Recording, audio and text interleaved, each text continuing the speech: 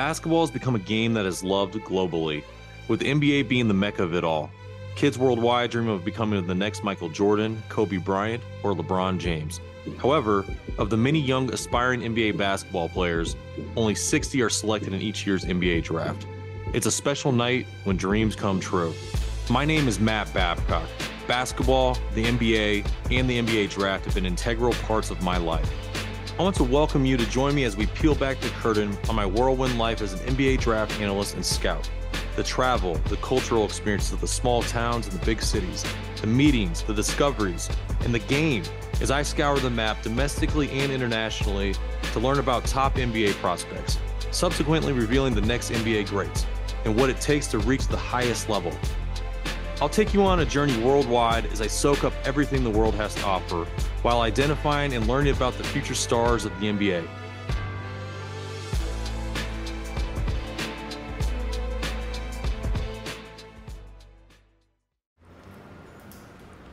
Tell me about your family's history in the game of basketball.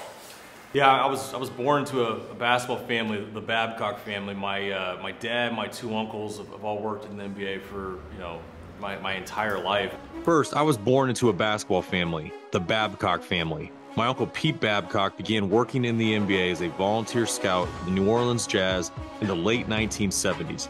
He turned that opportunity into a career one could only fantasize about as he led multiple NBA teams as their general manager from the early 1980s through the 1990s.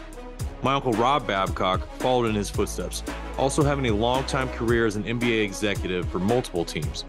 He was the general manager at one point, too. My dad, Dave Babcock, the youngest Babcock brother, started working in the NBA as a scout in the late 1990s after coaching in the college ranks for 15 years. He became a member of the Milwaukee Bucks front office shortly after and has been an executive with the team ever since.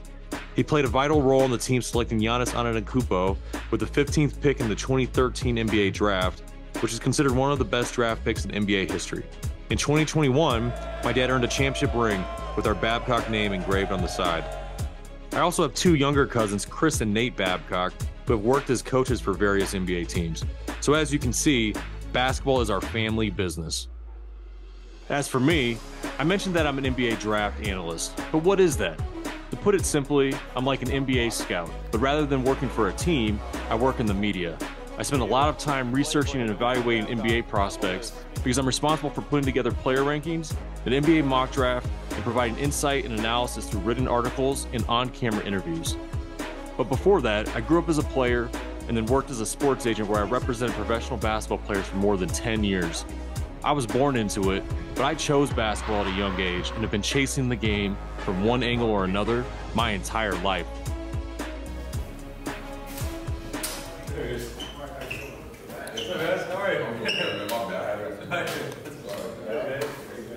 Coach, there he is. You good? Hey, him on. Okay, here we go. Three, you hold it up for us. Three, two. Um, talk to me about what it was like. As an NBA draft analyst and scout, I can never gather enough information on prospects.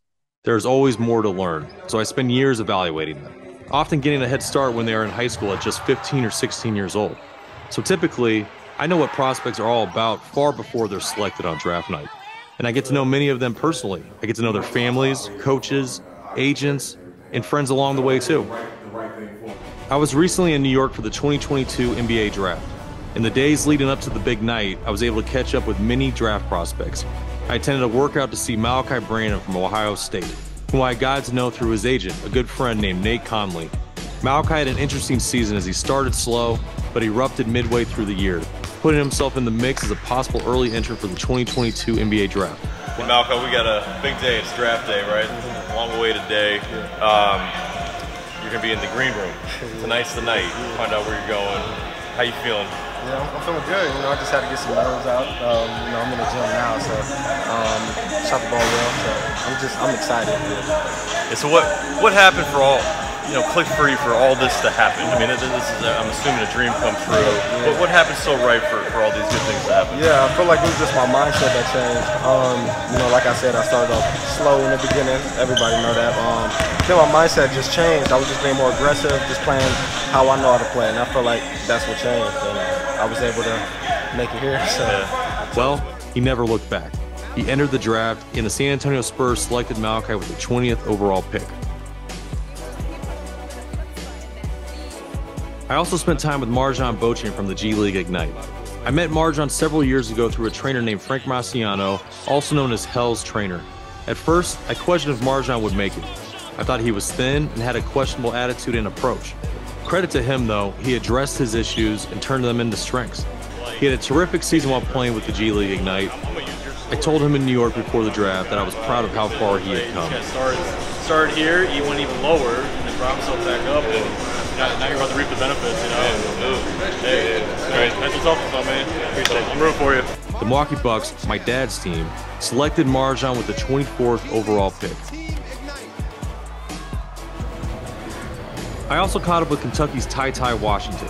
I watched TyTy a lot while he was in high school and became close with the staff at his school, AZ Compass Prep. I also got to know some of his family members as well. Was growing up, when did you realize that he could be a big time basketball player? Uh, about six months ago. I mean, I'm gonna be honest. I mean, you know, last year everyone said how good he was. I was like, that's cool. I got to see it. This past season, I visited Lexington multiple times to see several of the Kentucky players. They're always loaded. Still, TyTy was my main focus this past season as I considered him the top point guard prospect in the entire draft.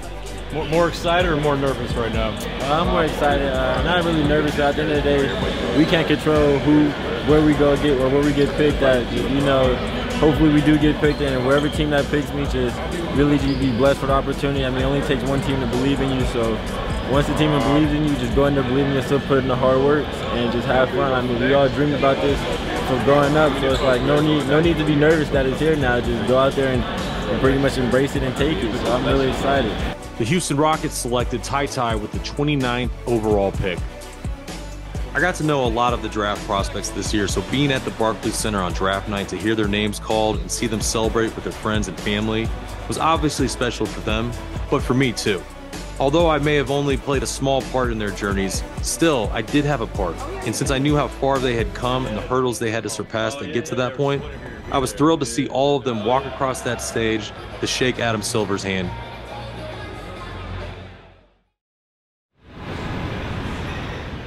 I already have some great trips penciled into my schedule for the upcoming season, where of course I'll see a lot of great basketball.